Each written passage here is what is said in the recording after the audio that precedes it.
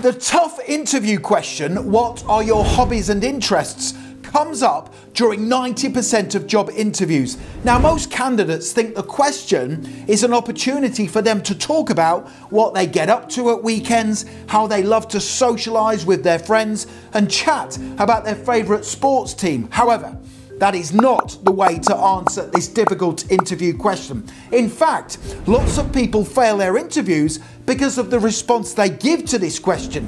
So, if you want to give the perfect answer, and more importantly, pass your interview at the very first attempt, make sure you stay tuned because I am here to help you. And just very quickly, if you are new to my channel, please make sure you hit that subscribe button. Literally thousands of you are passing your interviews at the first attempt. I can only help you if you are subscribed. And please give the video a like because that motivates me to create more content for you. Thank you very much indeed. Okay, let's jump straight into the tutorial. So to help you pass your interview at the first attempt, I will cover the following three things in this tutorial. Number one, I will explain why the interviewer is asking you the question, what are your hobbies and interests? There are two reasons why they are asking you this question. You need to know what they are.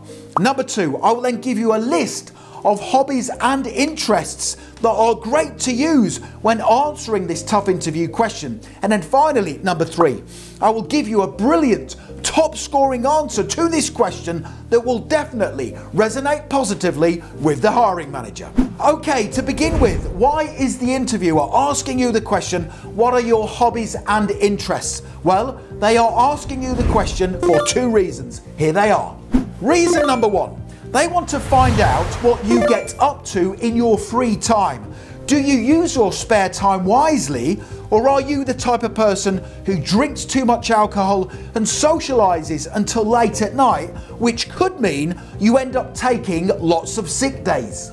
And reason number two why they are asking you the interview question, what are your hobbies and interests, is because they want to assess whether you use some of your free time for positive things such as self improvement, keeping fit, and learning new skills.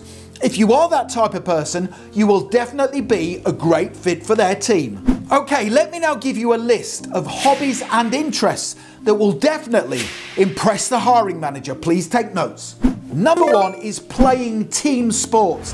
If you play team sports, it shows you are a selfless person who can collaborate with other people. Number two is keeping fit and active. If you go running, swimming, visit the gym, or undertake any type of fitness activity, it means you are less prone to illness and your concentration and energy levels will be higher than the average person. Number three is learning a new skill. If you are currently learning how to do something new, such as playing the guitar, playing the piano, drawing and painting, photography, or even yoga, it shows you can concentrate for long periods of time and commit yourself to achieving something challenging and purposeful. Number four is reading books. If you are an avid reader, it often demonstrates you are a patient person, calm, and someone whose vocabulary will generally be better than the average person. Number five is studying. Now, this is a great one. If you are currently studying to achieve a new qualification, it shows you understand the importance of self development and you are the type of person who is open to feedback and continuous learning, both of which will be appealing to the hiring manager. Number six is taking care of your family or looking after elderly relatives. This shows you are a selfless person who has their priorities right and has good levels of patience empathy and understanding. And number seven is volunteering. Now, this is probably the best way to spend some of your free time and it will 100% impress the hiring manager. Volunteering shows you to be the type of person who puts the needs of other people first. So let me now give you a great example answer to that difficult interview question What are your hobbies and interests? Here we go. My hobbies and interests include going to the gym, reading, and learning to play the guitar. I visit the gym three times a week, and this helps to boost my confidence levels and my concentration capabilities for when I am at work. I love reading books because this helps to improve my vocabulary and it enables me to unwind.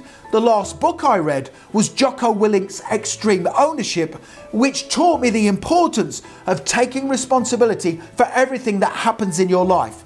Finally, I have been volunteering at a local food bank over the past few months. It's been a great way to give something back to the local community and it's made me more understanding and empathetic.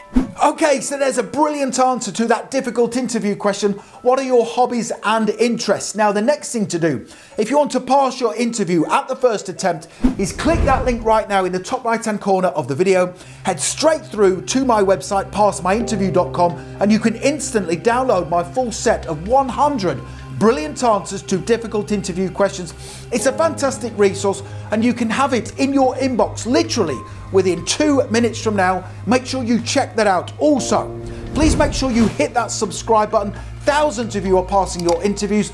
I can only help you if you are subscribed.